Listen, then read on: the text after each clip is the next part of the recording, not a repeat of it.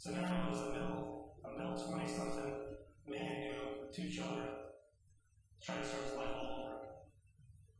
Well, I thought, uh, I was going back to school.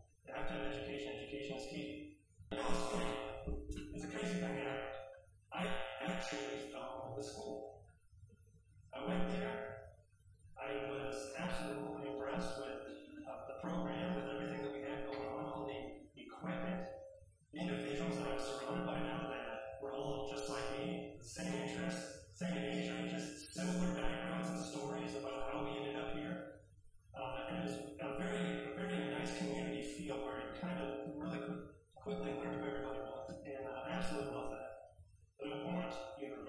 least I think